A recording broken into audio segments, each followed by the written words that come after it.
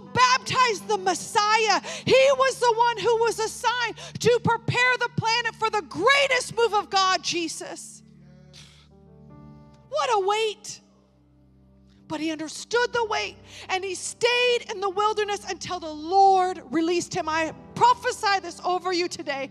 Stay in the place that God has you in, even if it's uncomfortable, until he releases you because the Lord is fashioning you for this hour. The wildernesses are what produce your authority. John the Baptist would have not had that authority had he not been in the wilderness. And let me end with this the wild ones, you will look different. You're supposed to look different. Man pleasing is not a part of your mindset when you're a wild one. Elijah's, the spirit of Elijah looked different on John the Baptist than it did on the prophet Elijah. And I want you to catch this. When you read in scripture, the prophet Elijah, we see him doing a lot of miracles, raising the dead.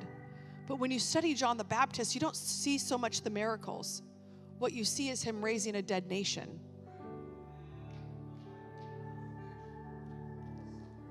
In this hour, the spirit of Elijah that you and I are called upon is going from a man comes by the Spirit. And it was on Prophet Elijah, it was on John the Baptist. It's now coming on a generation. Where it came upon a person in Scripture, it's now coming upon a company of people. I want you to stand right now.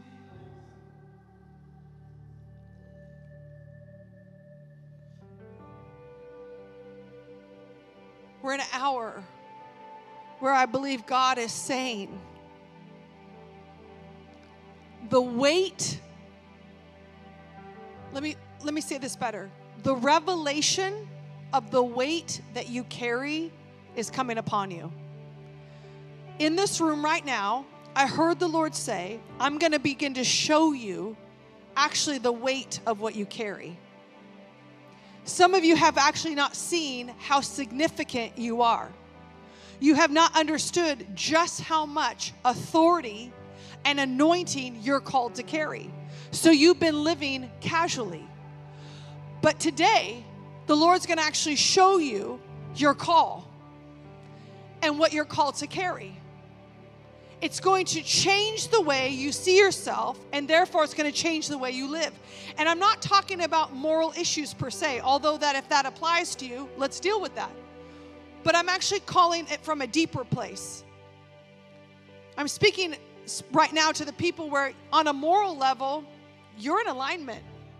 But on a spiritual level, God is saying, I need you to get that tenacious hunger once again, that insatiable appetite for the things of God again. Where life has doled you down, God is sharpening you right now and you're going to see your call. So close your eyes all over this room. And the Lord is going to begin to show you. I just feel like a revelation is going to begin to hit. Like some of you, you have yourself pigeonholed. You're like, this is who I am, this is what I do.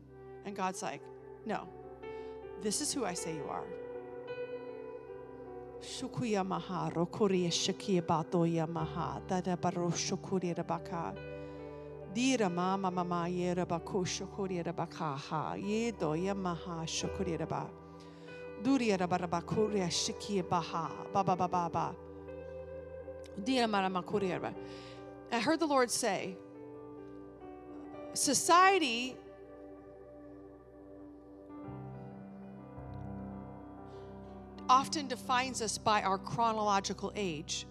So we have boundaries in the sense of we think God can use me during these years or those were my prime years. And I just heard the Lord says, I'm redefining. Come on, we're in the redefine. I'm redefining how you view this season of your life and the age range that you see yourself in. Because society has told you that during this time in your life, whatever that may be, this age range of your life, your life is to look like this. I want to break that box off of you and I want to declare the freedom to be who God has called you to be. Remember, God is changing the narrative. God is changing the narratives of what 60s look like, of what 70s look like, of what 50s look like. We break off that mentality of this is my time for the sidelines. I'm on the final chapters when I'm in my 70s, my 80s, or my 90s. No, no. What, what if you were actually just getting started? What if actually all those years of experience and wisdom, the greatest impact of your ministry was in the latter part versus the beginning of your life? But it was with the intention because of the authority that you now walk in. Shift the way you think. Remember, the spirit of Elijah shifts and then it establishes. Allow your mind to be shifted of how you see yourself right now. So, Lord, right now, I thank you.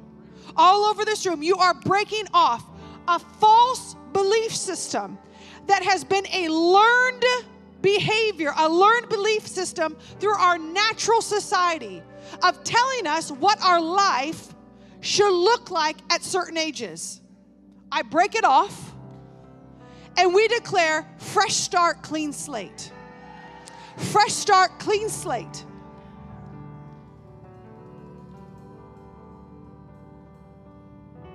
And all over this room, we surrender to what you say and who you say we are. With your own mouth, I just want you to say, I surrender.